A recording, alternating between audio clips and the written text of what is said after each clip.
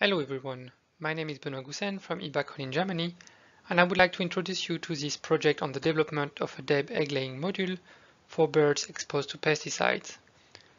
This project is conducted by a consortium composed of Starrlight Augustine, Markus Ebeling, David Ekman, Dina Lika, Marn, and Andre Gergs.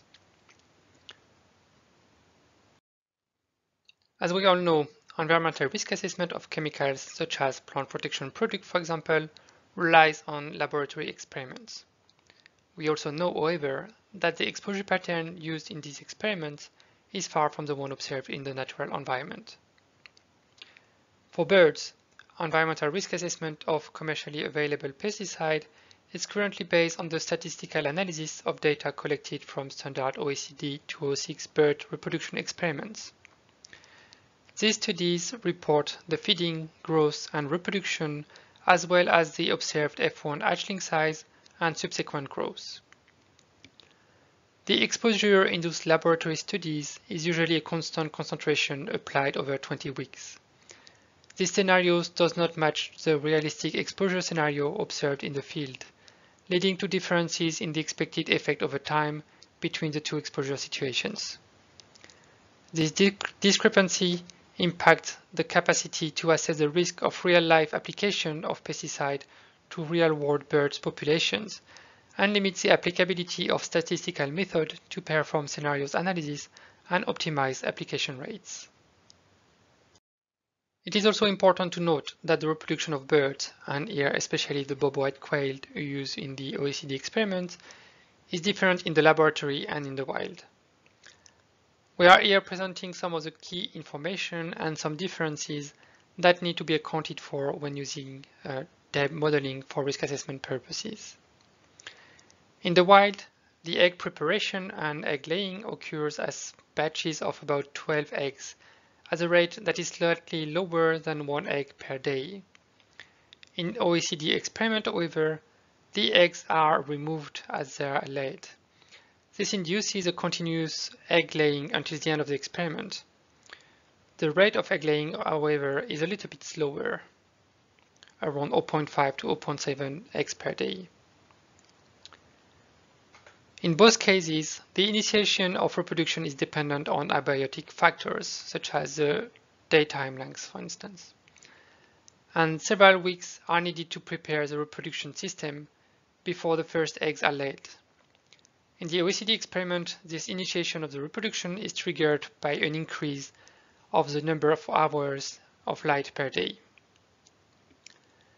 Finally, it was also observed that females increase their food consumption during the breeding period, especially in the OECD experiment. As we saw in the previous slide, bobwhite quail nest in spring and only produces clutches of 10 to 15 eggs. On the other hand, quail under OECD experimental conditions will continuously lay eggs. This takes a physiological toll on the birds. At the start of our investigation, we noticed that females increase feeding drastically with respect to males. After looking at various possible alternatives to explain how this extra food consumption was utilized, we found that the following hypothesis best applies. The extra assimilates compensate for an increase in somatic maintenance, reflected by the physiological toll that continuous uh, egg production incurs. We represented this by correlating the feeding to the maintenance rate together using the following equations, where um, ST is a monotonic increase function. These changes are starting at the induction of the reproduction and uh, during the egg laying.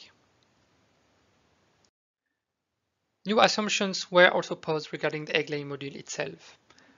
We assume that the allocation to reproduction starts at the maturity threshold for puberty, but that the energy is first accumulated in a reproduction buffer. The start of egg production itself is triggered by abiotic factors and follows the following rules. The first one is that the egg size is variable over time and calculated assuming the maternal effects. This means that the reserve density at birth equals the reserve density of the mother at egg formation.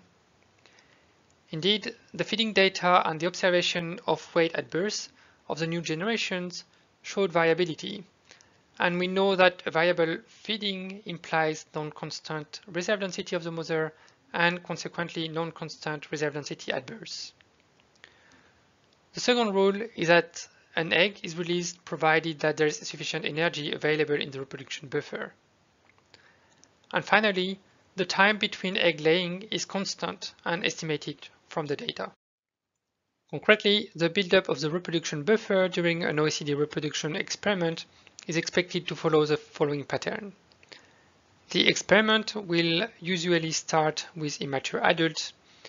These are organisms that have passed the maturity threshold, but with a regressed reproductive system. This individual will be acclimated during a couple of days and then exposed to a compound via the food for several weeks. Photostimulation will then trigger the maturation of the reproduction system, and after about 40 days, the egg laying will begin. During all this period, the reproduction buffer is building up. Then at the initiation of the egg laying, it starts to be depleted at each egg laying event until the full depletion.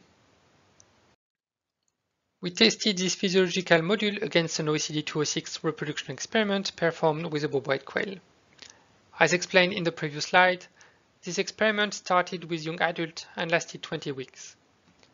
In the first 10 weeks, the birds were kept immature, then the gonad maturation and reproduction was induced. The exposure to fungicide was done via treated food, and one male and one female were sharing a cage and a feeder. Different measurements were performed along the experiment. In particular, the body weight was measured at the beginning, initiation of long day, and at the end of the experiment. The food consumption were, was measured uh, weekly per cage, for, so for each pair. Um, the eggs were collected daily and set in a breeder in a weekly lot. The egg viability and embryo survival was monitored by candling, and the number of hatchling and the weight of the hatchling at hatch and after 14 days post hatch on a intreated diet was also monitored. So we first decided to test the physiological module against control data and put it into context by using also literature data. The first step in our approach was to compile a large amount of literature data concerning the species life history, as well as control data from one of the OECD experiments. We show here to the left uh, growth in weight weight as a function of time, the symbols as the data, and the line the model prediction. The red symbol and line are data and model prediction from a 1978 study by Jones and Hughes. In the second part, we have a blue and red line from the OECD data, OECD control data.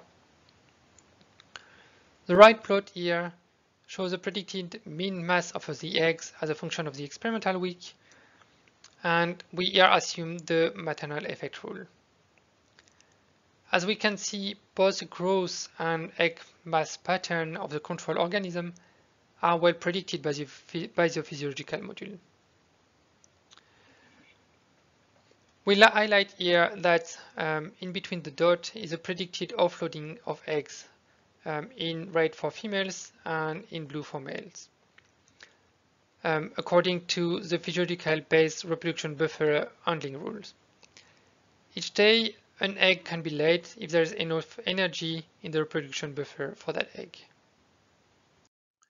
We also compared some implied properties of our physiological module to the literature data.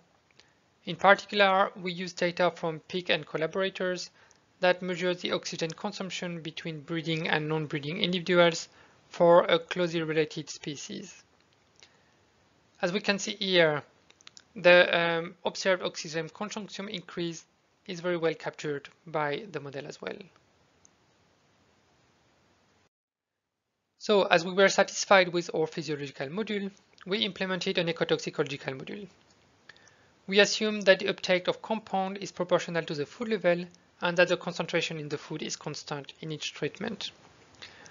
We use a simple one compartment kinetic, assuming that all of the compound was stored in the structure. The toxicokinetic is then governed by the dominant rate constant and the damage dynamic. The effect itself is governed by the threshold for effect or no effect concentration and by the tolerance concentration. The effect starts to show up when the damage level crosses the no effect concentration. The effect then increases linearly with an intensity controlled by the tolerance concentration. The type of effect is induced by the type of the parameters impacted.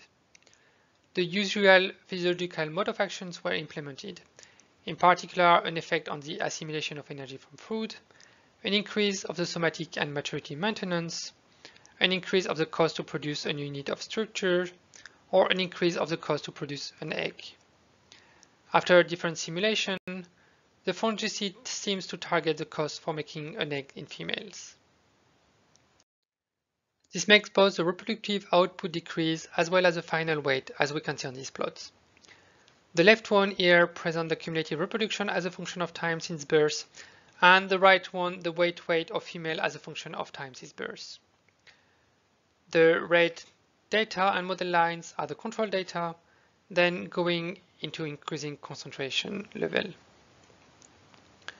As we can see on these graphs, the level of effect on the reproduction is well predicted, with however a slight delay um, in the onset of the effect. An effect on growth is also predicted, which is not fully on par with the data. This can be explained by um, discrepancy in the feeding data. So in conclusion, this project allowed us to take the first steps toward the standard development and use of a DEB model for analyzing standard OECD bird reproduction data used in environmental risk assessment of plant protection product. We saw that the standard uh, model captures the whole life cycle of the quail very well. In this model, we assume that the early juvenile eat at a higher food level or um, food with higher nutrition content than the later juvenile and adults. And this period of higher feeding strongly impacts the growth of um, the juvenile during the first few weeks of life. The upregulation of feeding during the egg laying period is here interpreted as a response to stress, as model has an increase in somatic maintenance. This model assumption is supported by literature respiration data. We kept um, the assumed food level constant for the OECD treatment, but the data suggests um, higher food intake in the higher treatment, which might explain the mismatch uh, in the final weights. And finally, um, it is very important to capture the event of puberty very accurately, because individuals start allocating to reproduction at puberty, whereas the exposure to toxicants start after puberty and before egg laying. In this context, the physiological mode of action on reproduction efficiency only starts to impact the model output once the egg laying is initiated. So thank you everyone for listening. I hope you enjoyed this presentation. I would like to thank again my colleagues from the consortium and Bayer for sponsoring this project. If you have any questions, uh, feel free to contact me or one of my colleagues.